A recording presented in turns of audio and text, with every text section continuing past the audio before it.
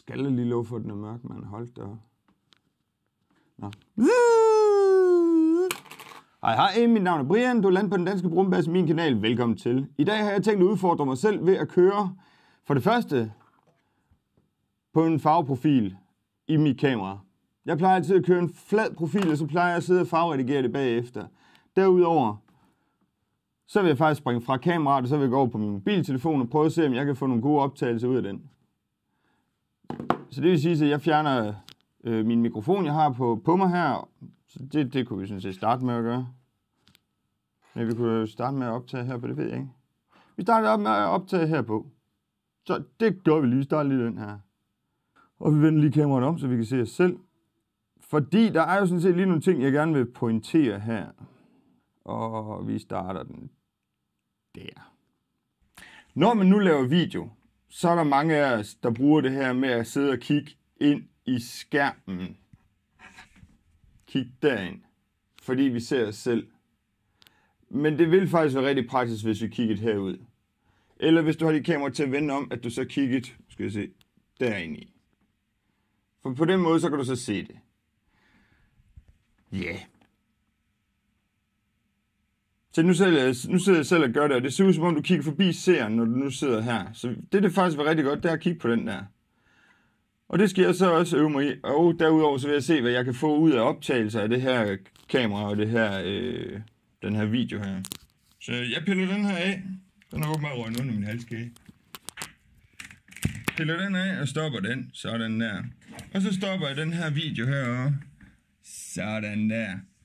Og så er det sådan set her på, at jeg udfordrer mig selv resten af dagen i dag.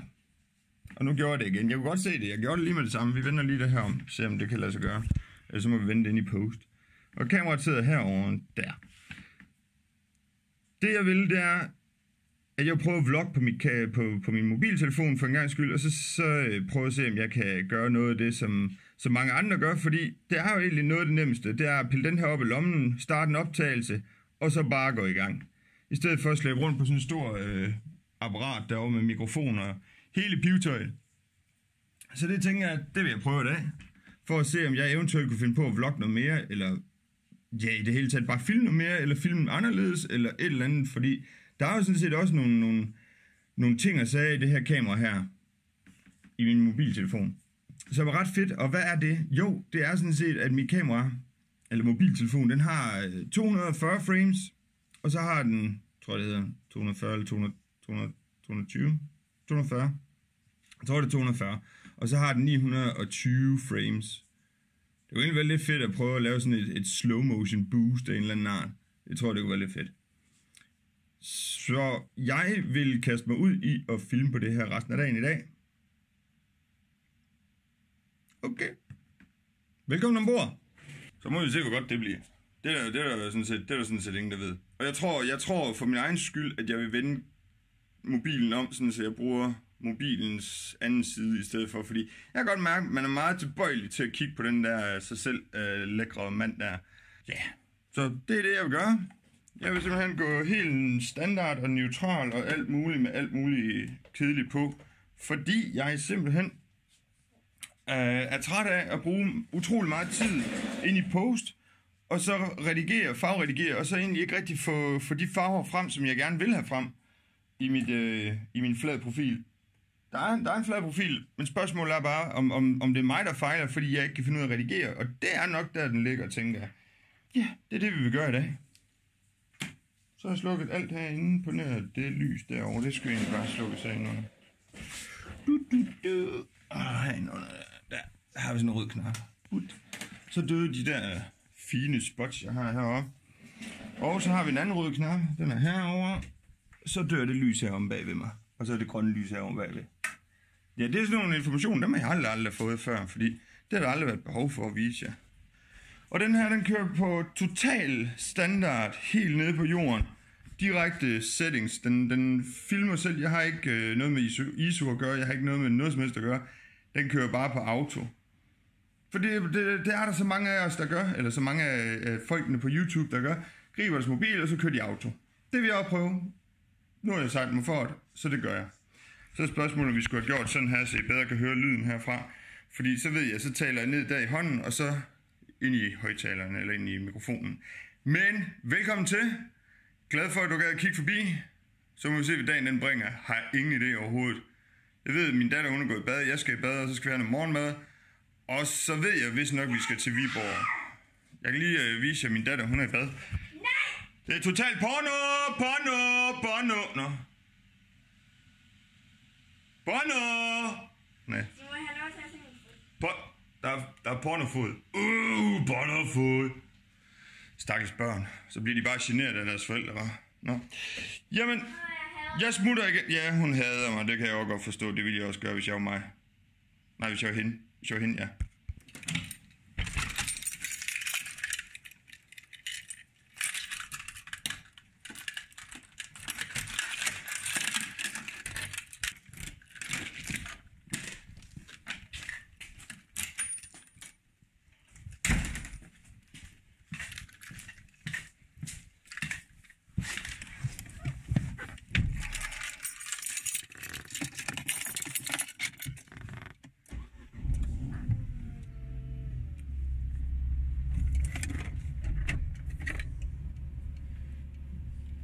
Så er vi på vej ud for at køre. Hvor skal vi hen?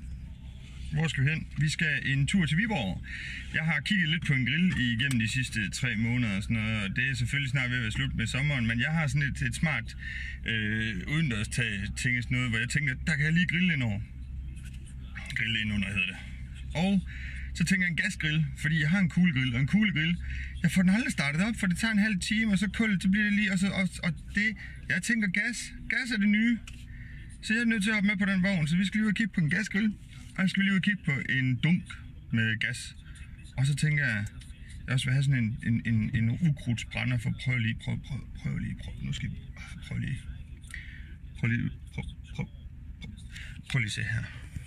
Kan I se alt det der? Det, det, det er ukrudt, og det, det skal bare ikke være der. I kan se, øh, naboernes, det ser fint ud. Jeg er en af de typer, der bare overhovedet ikke gider det her med at skal, øhm, skal arbejde med ukrudt, eller skal ud og pille det op og, og lægge det om, eller... Ukrudt skal ikke lægges om, Brian. Nej, det var rigtigt. Men jeg gider ikke at gå og pille det op, og jeg gider ikke ligge og rode på knæene efter det. Så nej, jeg, jeg tænker, det bliver en ukrudtsbrænder, og så brænder vi skidtet ned og helt ned. Yes. Så jeg tager ud og kigger efter, hvad jeg kan finde.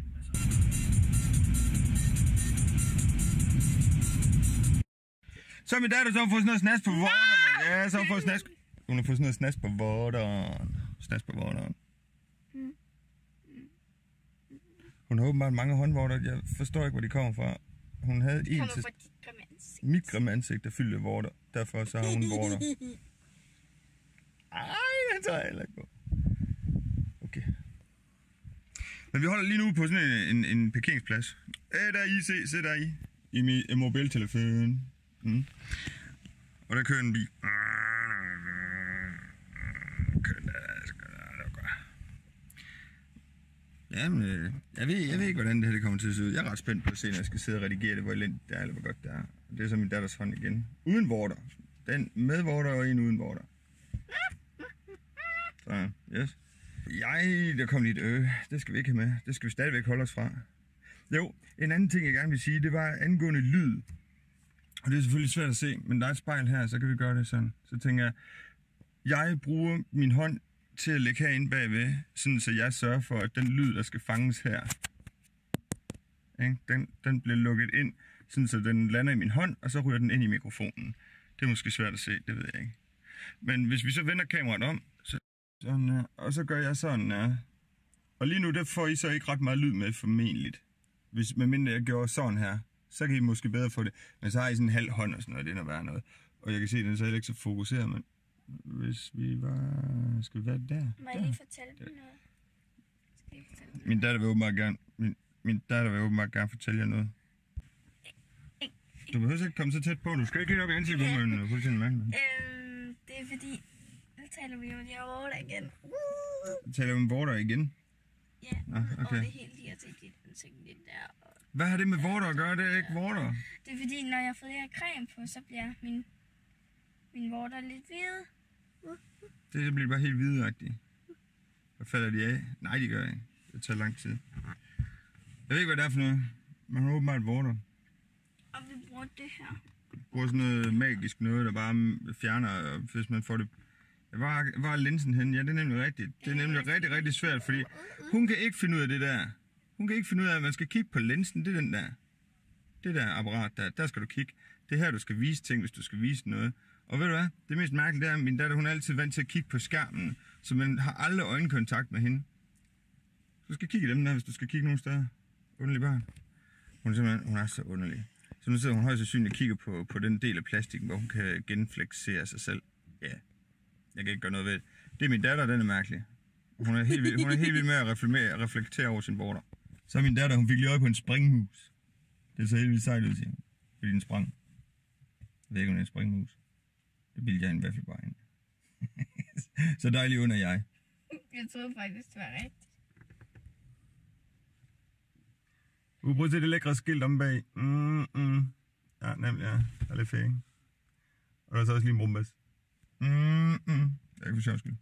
Så den bilen er ved at være fuld, og jeg har fået købt noget gas, og min datter var mega træls og alt muligt. Og jeg har fået købt øh, sådan en... Jeg har fået brugt en masse penge, det skulle jeg aldrig have gjort rigtig, er rigtig pølse. Men nu har jeg en gasgrill. Det er fedt. Det er det eneste, jeg kan sige. Jeg har brugt alt for mange penge. Men det var en fin gasgrill. Det var. Jeg smutter igen. Det er bare det igen mærkeligt som altid Så se den bare være med, og så vil den ikke sige noget, og så sidder den bare og vinker og ser mærkeligt ud, og vi snakker oven i købet dansk, og så er det bare mere vinkninger. Så jeg bider lige fingre af den en eller anden dag, mand. Så mister den de fingre, mand. Det bliver så åbenbart i dag. Vi er lige kommet hjem, vi er lige landet, og vaskemaskinen står bare og vasker. Det er så fedt, og vaskemaskinen den vasker. Og så har jeg et barn, og igen vil gerne være med. Det er bare så træls, at vi skal kigge derover, men jeg kigger lige på mit barn. Og så skal vi lige se, hvad har jeg da lavet, hvad har jeg da lavet. Jeg har ikke lavet ridse på køretøjet, bare roligt. Men prøv lige så der. Ej, jeg købte en grill. Ej, jeg købte en grill. Det er sjovt, man skal lige kigge der. Er jeg sendt Ja, det er godt, så derovre. Øh, på den anden der, der er der faktisk ikke noget problem. Der er det bare altid der. Øh, ja, i linsen, ikke? Så det her, det bliver bare... Øh, det bliver spændende. Det bliver så spændende.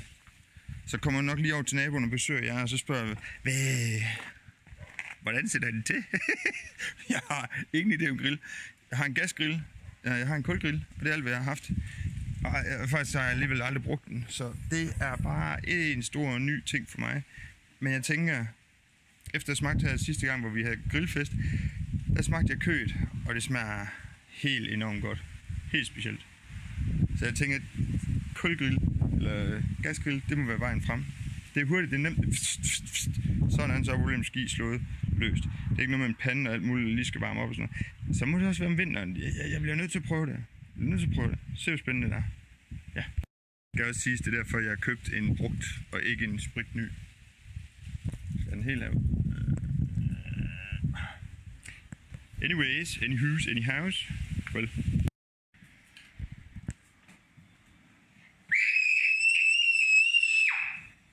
kan ikke optage, når jeg optager. Du skal ikke optage det, jeg optager. Du skal ikke optage det, jeg optager. Jeg optager vinter, du optager.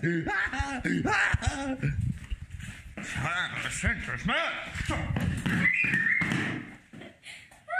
Ja, men her.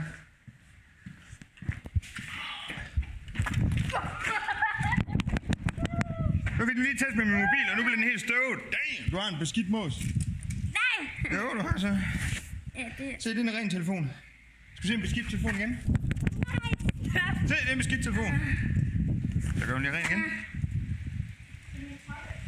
Åh, oh, ej, vi skal lige herover, hvor det faktisk er kamera. Damn, hvor er det fint. Nu er det jo ikke sådan, at jeg har voldsomt meget vind udenfor lige i øjeblikket, og derfor så sveder jeg som en grisebas. Men jeg har sådan en der, og den kan hjælpe mig med at lave vind. Så det bruger vi lige. He, he, he. For det, for det her det er nemlig et forsøg på at se, hvad det egentlig vil sige sig, og holde hånden hen over mikrofonen. Nu vil jeg nemlig selv se, om det egentlig hjælper i noget som helst. Og lige nu der er der vind. Der er vind lige derovre fra den der vindmølle, der kører lige bagved os. Så nu kommer den igen der, så kører den lige hen over mikrofonen. Vi kan lige sætte den op på stormvejr. Vi sætter, vi sætter, vi sætter den op på stormvejr. Det kunne I godt høre. Okay, I høre det?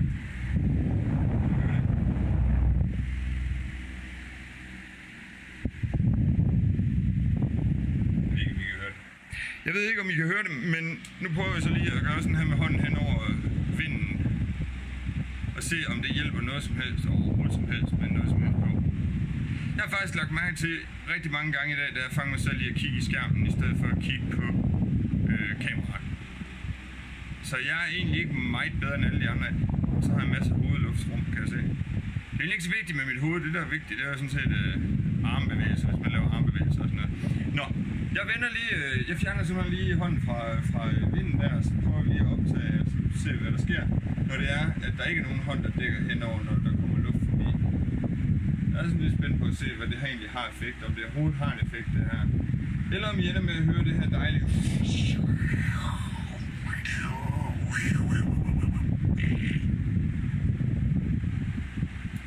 900 frames, så den kunne jeg ikke få til at fungere, som jeg gerne ville.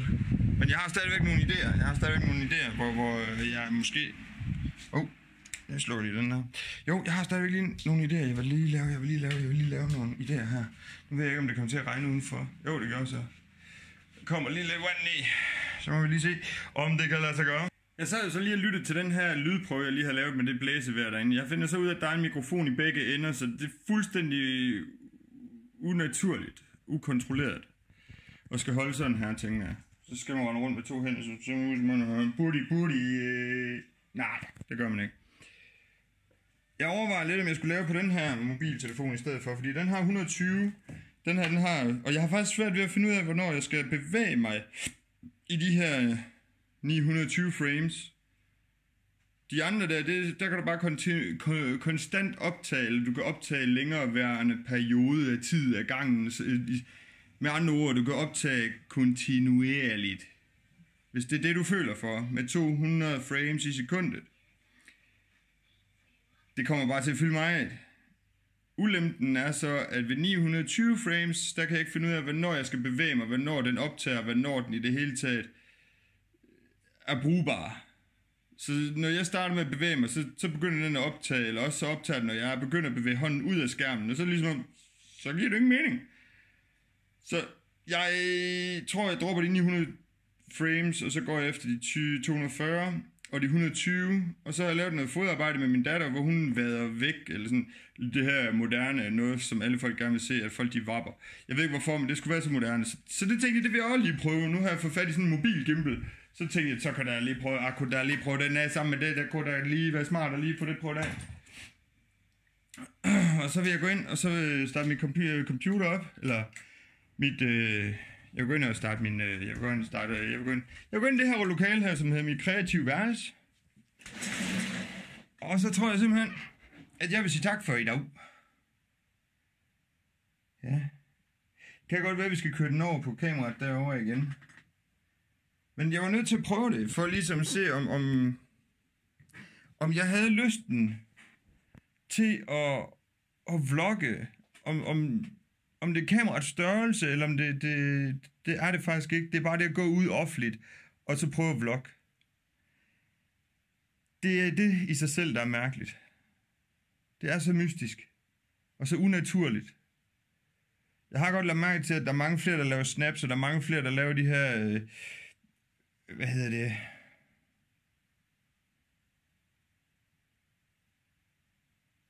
TikToks. Ja.